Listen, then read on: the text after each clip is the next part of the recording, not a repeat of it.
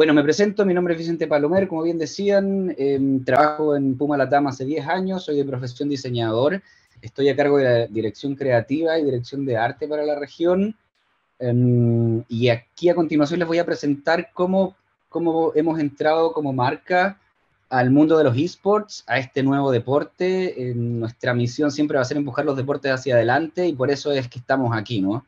Creemos que esto es mucho más que, que solo videojuegos, mucho más que competencias profesionales, sino que es un estilo de vida. por eso, eh, y como para introducir, les voy a dejar un, pequeño video de marca para que se introduzcan un poco los valores que nosotros tratamos de proyectar y lo que somos en general.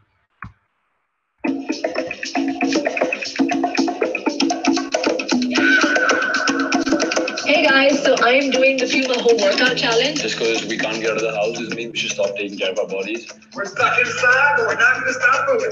Vamos, vamos, vamos. Puma France, donc rendez-vous sur leur page à 18h. Um, join me on Puma's Instagram Live. Please allow me to introduce myself. I'm a man of wealth and taste. I've been around for a long, long year. Stole many a man's soul of faith. Be damn sure the pilot washed his hands and sealed his face. Let me please introduce myself. I'm a man of wealth and taste. I wrote it.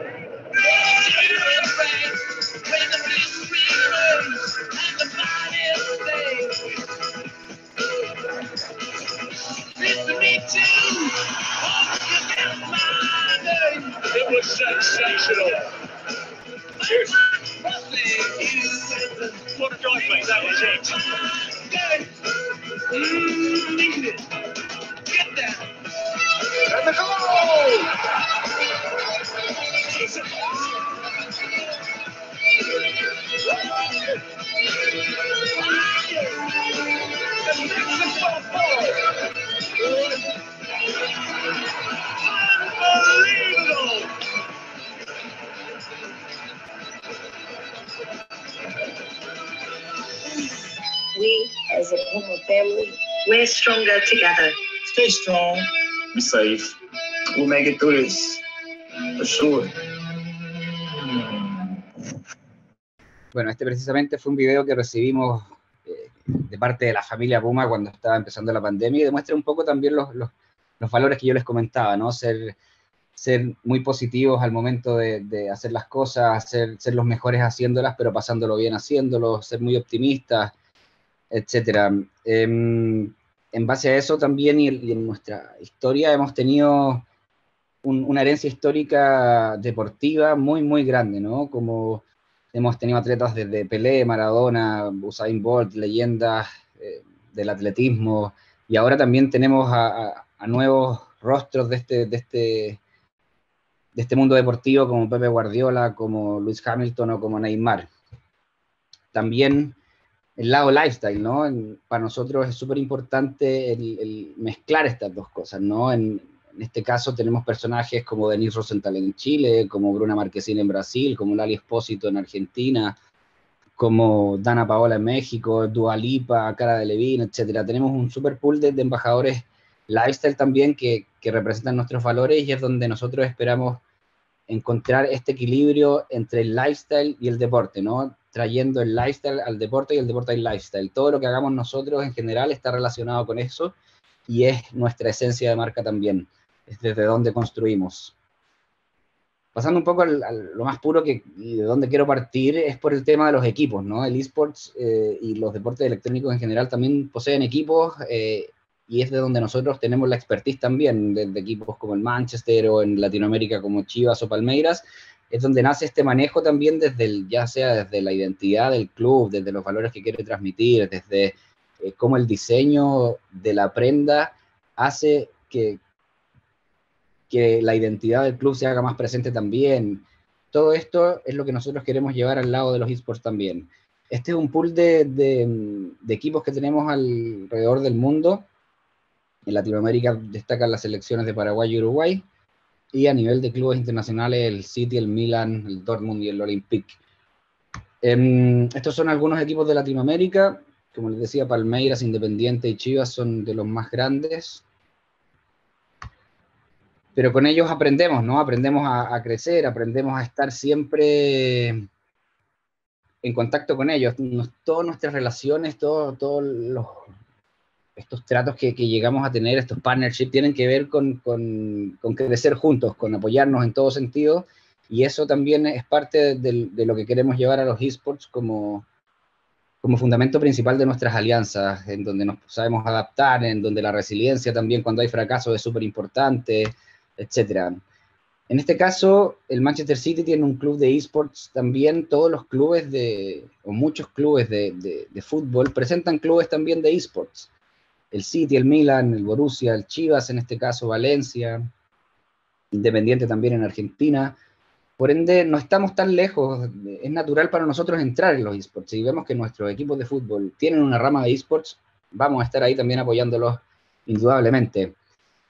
Em, es por eso que vamos creciendo también fuera de los equipos en otro tipo de, de- activos o de alianzas también. Tenemos a Cloud9 a la izquierda en, Norteamérica, tenemos también al equipo del Cunagüero en Argentina que se llama Crew, que también tiene una sede en, en España también, equipos de Australia. Esto es el, el mapa más o menos de los esports fuera de los clubes de fútbol, exceptuando Chivas, ¿no?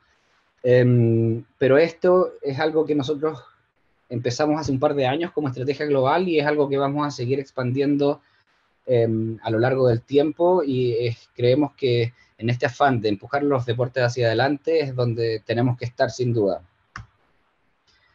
Cloud9 es uno de los equipos más preponderantes en la escena mundial. A ellos ya, le, ya les hemos creado una línea de ropa súper, súper detallada, con, desde cosas básicas como un jersey de juego, como un hoodie, como, como, un, como un pant, hasta accesorios que, que suelen ser un poco más difíciles de producir y donde también podemos llegar, ¿no? La idea también es, es apoyarlos en, igual que un club de fútbol, con, con un range 360 de, los, de las cosas que necesiten ellos y que sean relevantes también para un jugador de, de esports, ¿no? Esto fuera de, de pensar solamente para el equipo Cloud9, tiene que ver también con, con pensar en futures distintos en, en la prenda. Por ejemplo, este polerón, el- la capucha del hoodie es un poco más ancha para que entre los audífonos. En, en el canguro en- o en el bolsillo del hoodie también tiene un bolsillo especial para introducir el móvil. Em, son cosas que, que se van, que se van pensando en específico para este consumidor. Y así llegamos a Latinoamérica, ¿no? El, el 2021 nosotros lanzamos una, una alianza con la Liga mm, Latinoamericana de League of Legends y con All Night, que es uno de los clubes que compite en esta liga latinoamericana. Piensa que esta liga latinoamericana es como la Champions League de Latinoamérica, donde van los ocho mejores clubes de la región a, em, competir. Se hace un clausura y un- una apertura y un clausura, y luego el ganador de este va a la final mundial, donde compite con Cloud9, que es este equipo que yo les mostré recién, o con los otros clubes o equipos del mundo. Este fue el primer, el, el primer acercamiento que hemos tenido. eh, estamos muy contentos también de, de cómo se ha desarrollado también la alianza, de, de cómo hemos participado con All Nights y con, y con la liga en generación de, de contenido, en cómo nosotros, en base a nuestras oportunidades y a las de ellos, logramos que, que generar contenidos de peso y que sean relevantes para el consumidor, ¿no? Por eso que ahora les quiero presentar eh, la colección que presentamos el 2021 en este video.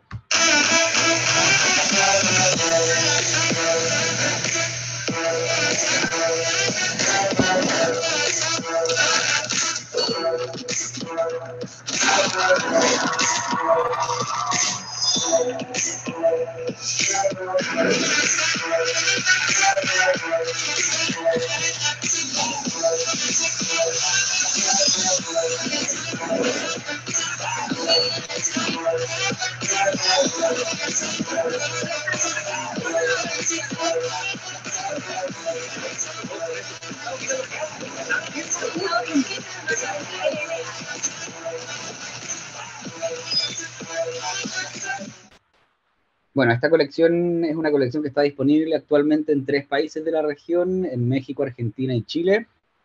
Eh, esperamos el próximo año poder ampliar algunos mercados, eh, es algo que, que, estamos explorando, estamos empezando en esta nueva categoría como marca, por ende todo es una experimentación, ¿no? Desde aquí vamos a empezar a sacar los números para poder tomar conclusiones y decisiones en base a, datos cuantitativos que nos, que nos lleven a, mejorar, ¿no? Y que nos lleven a, entender también al consumidor. Yo creo que eso es lo más importante de este, de, entrar en esta, nueva, en esta nueva categoría donde las marcas deportivas naturalmente podemos entrar, pero donde no tenemos un entendimiento eh, al 100%, donde vamos a ir creciendo eh, paso a paso paralelamente con cada una de las alianzas que vamos, que vamos formando.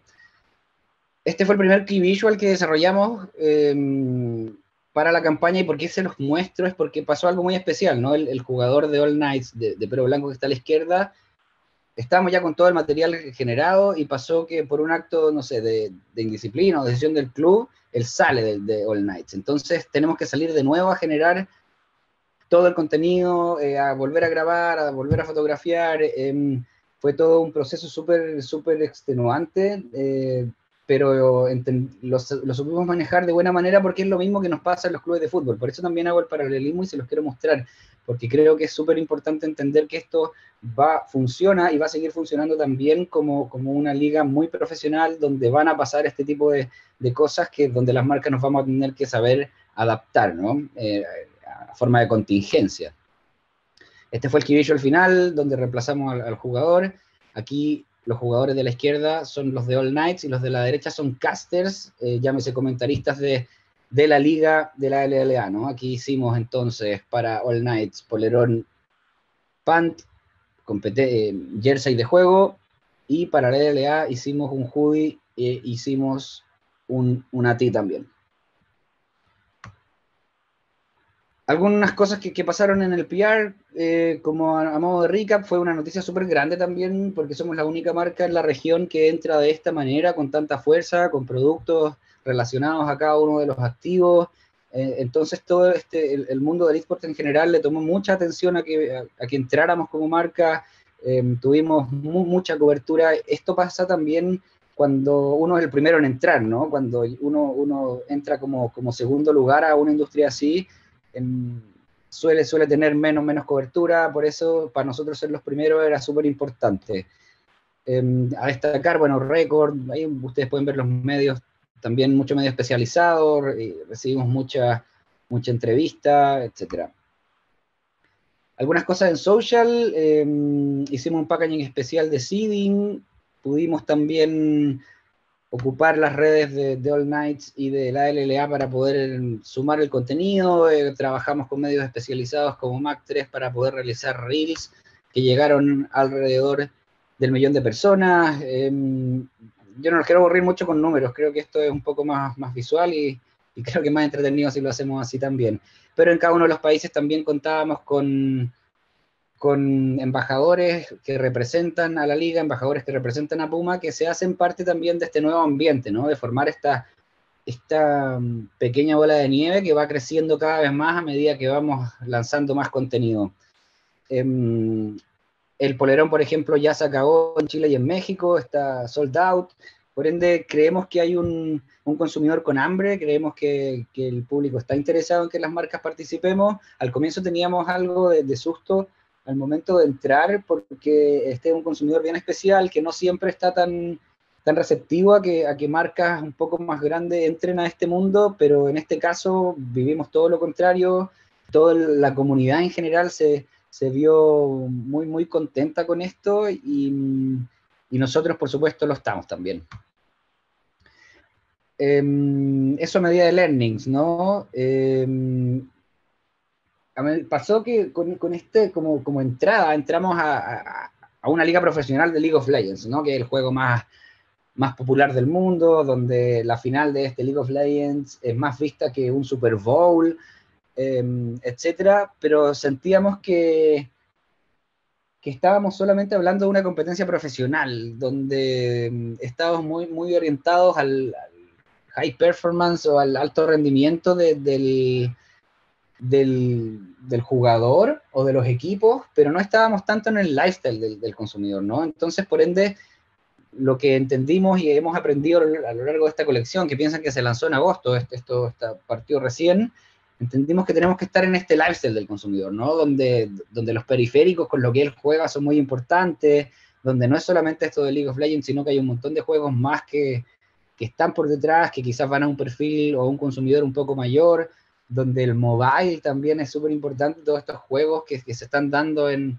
en el teléfono, eh, espacios de juego donde ellos se juntan, por supuesto todo lo que ya hemos realizado con respecto a las prendas de ropa, eh, el mundo del motorsport también es algo que, que, nos llama mucho porque nosotros tenemos alianzas también con Ferrari, con Red Bull, con Porsche, con Mercedes, con, con otras marcas que están relacionadas al automovilismo y por ende también naturalmente queremos entrar en eso, ¿no? Esto es un poco representando hacia dónde nosotros nos queremos dirigir, hacia dónde queremos dirigir la, la comunicación de, de los esports en general, como les decía, para no estar en el, en el performance tan alto, sino que estar en el lifestyle un poco más más, más cotidiano del consumidor, ¿no? Donde también hay cosas como las batallas de gallo, estas batallas de improvisación de rap, que son, son, son parte del gaming, pero, pero en, en, una patita un poco más alejada, ¿no? Pero, pero sin duda es un consumidor que, que consume cosas similares también. ¿Qué pasa con los eventos y los Comic Con y toda esta cultura cosplay?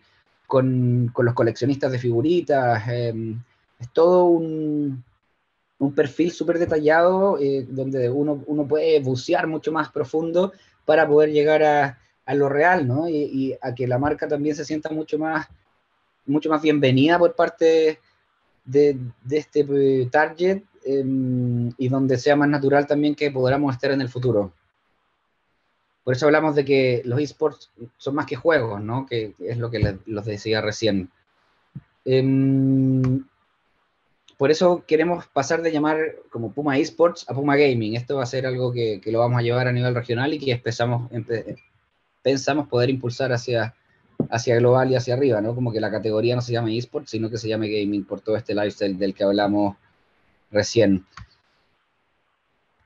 Y aquí es donde complejizamos un poco más la estrella de, puntos y de puntos de contacto que tenemos con los consumidores, ¿no? Yo al comienzo les mostré solo tres puntos de contacto, que era Puma, eh, la liga, All Nights, y claro, estos, estos tres puntos que, que por supuesto son parte de, de, la comunicación de marketing, pero donde nosotros esperamos empezar a complejizarlos, ¿no? Como les decía, con colaboraciones, por ejemplo, con, con marcas de, periféricos como mouse, con nuevos juegos fuera de League of Legends, con nuevos embajadores, no tanto que sean parte de, de la liga o de All Night, sino que sean embajadores Puma 100% como centrados en la categoría esports, ¿no? ¿Qué pasa también con las comunidades? Las comunidades creemos que es un punto súper importante porque son los que mantienen este movimiento, los que van generando contenidos, memes, eh, los, que, los que hacen que esto se mantenga vivo, ¿no? Que un, tipo hace un meme chistoso de un juego y eso se viraliza de inmediato. Son comunidades muy activas también porque están permanentemente en el computador o en el teléfono.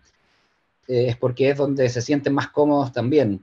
¿Qué pasa con el punto de venta? El punto de venta, nosotros eh, como siempre, siempre, hemos tenido un punto de venta como una tienda normal de retail, pero esperamos que este punto de venta en físico y, y .com pueda ser un poco más detallado, donde podamos hacerle vivir al consumidor una experiencia un poco más profunda, en el sentido de que él pueda jugar también en, en la tienda o pueda jugar en este landing page, donde puedan haber recompensas, etcétera, donde también empecemos a conectar el online con el offline, viendo, viendo cómo si compramos un, producto en la tienda, después pueda tener alguna recompensa en la página, cosas que, que hagan que el consumidor sienta que está, que Puma está realmente en, en, en los juegos y en, y en, este lifestyle gaming. También con la experiencia, ¿no? Hay muchos, eh, ¿cómo llamarlo así? Game centers, como grandes centros de juego, donde hay un montón de opciones de juego, como les decía, el automovilismo, como ya sean estos juegos tipo arcade también, donde también como marca queremos estar presentes, generando también experiencia de usuario, experiencia de, de, de cómo nosotros vemos los esports y con juegos propios, si es, que, si es que se da la oportunidad. Aquí sí hay una pregunta que dice, ¿qué tipo de data o segmentación utilizan para definir un nicho o target de un lifestyle, donde Puma se puede enfocar hacia el futuro? A ver, eso esa segmentación siempre va a estar dada por los números que tenemos en .com, primero en quién, es la persona que nos compra, luego esa segmentación también está dada, por supuesto, por todo lo que nos arrojan las redes sociales. Em, y pensando también en, esa pregunta que tú vas hacia el futuro, esa, segmentación está dada, segmentación va a estar dada por las generaciones que vienen, ¿no? Como, como nosotros nos, nos sentimos más cerca de, los más pequeños, ¿no? De, cuando un niño de, 15 años nos empieza a comprar y cómo nosotros lo mantenemos a él como, como consumidor fiel eh, y, y, con él vamos a ir creciendo hacia el futuro, ¿no? Yo creo que por ahí va un poco el, el poder pensar en el futuro como segmentación también y, poder hacer que estos datos nos, nos puedan hacer tomar decisiones acertadas. Dime, último minuto. ¿Cómo es la integración con alguna marca de tecnología para los esports? Bueno, eso es lo que estamos investigando, es lo que te hablaba de las colaboraciones con los periféricos, con, con los mouse, con los headsets, con, con, los teclados, es algo que estamos empezando a investigar Em, es algo que te lo transparente. La semana pasada mandamos el correo global para ver cómo tenemos que hacer esto, porque es algo nuevo lo que estamos entrando. Hemos hecho un montón de cosas en, tecnología, pero más relacionadas a, generar, no sé, bicicletas con mini que hemos hecho, pero no como en tecnología así pura y dura, ¿no? Entonces, el acercamiento yo creo que tiene que ver con, con que el producto comunique lo que queremos comunicar a ambas marcas. Eh, y ya hacia adelante, ¿no? Nosotros tenemos algunas, algunas marcas más cercanas por, por, la relación que tenemos con la liga y que estamos empezando a trabajar con ellas. Em, pero es algo que, que estamos en proceso de aprendizaje.